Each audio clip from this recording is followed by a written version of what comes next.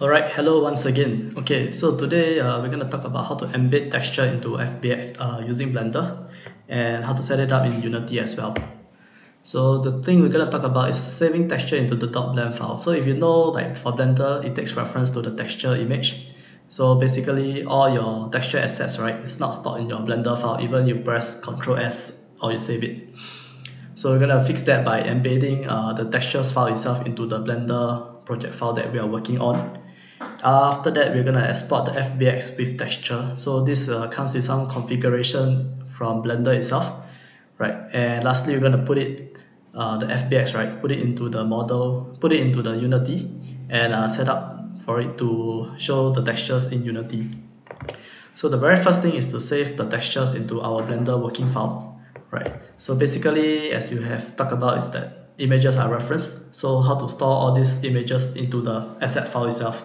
So basically this will make your Blender file a bit larger, but it's much more easier to work with and to bring the file work, uh, around easier. So the very first thing, uh, I'm gonna just quickly uh, load up an image for my cube here. So I'm just gonna quickly open an image and I'm just gonna put just a render image and set the shading. Okay. So and to include these textures in my uh, working file, my Blender project file, then I'm gonna click on external, then uh, pack all blend into blend file. Okay, so that's all. And just to click save. Okay, and make sure we save in a nice place. So we're just gonna say cube. Okay, so let's save it. Okay, so that's all for making our Blender file, our texture to be in our Blender file. So moving forward is to export the FBX model with the texture itself. So back in the old days in 2.7, I think we have to rebuild all the materials and textures uh, inside Unity after we have exported the FBX. And if you got like more images such as like uh, normal maps, um, emission maps and stuff, then you have got more things to work with again on Unity.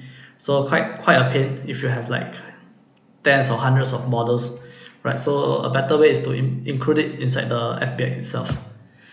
And to do that, right, it's a couple of settings apart from the usual setting to export to FBX. Okay, so it's just two more settings, basically the set path, uh, the path mode, and as well as the icon to embed the textures. So coming back, okay, we're gonna select our cube and we're gonna do the we're gonna do the usual uh, exporting, FBX. Then we're gonna say uh, we're gonna save on the desktop and we're gonna set our okay our usual setting is always select the, only the objects and as well the mesh then click on the experimental properties for the correct facing. Right so and the new settings that we're gonna set right is the copy path and as well as the icon. Okay so just these two things and we're gonna save on our desktop Corel Cube FBX okay so let's save. Right so that's all for exporting the FBX with uh, textures in it. So this just these two settings. And lastly, right, to put it back onto Unity, okay, apart from dragging the FBX into Unity, we also have got to do some settings whereby is to set up the material by extracting the textures, okay? So it's just one step and let's head over to Unity and drag our, um, drag our, which one, our models over, okay? Right. So now we have got our cube. So the settings that we want to set right basically is just to click on extract texture. And we're going to create a new folder and call it texture. Okay. And we're going to put all our textures there. Right. So now the texture is inside and you can see that our cube now already have got a textures. And when we drag our cube out and we will have our texture in our cube. Okay? Right so that's kind of sums it all, okay? Uh, getting a texture asset into Unity from Blender, right? So it's a couple of more steps, but I think it certainly makes life easy in the long run, okay? So that's all for me and good luck.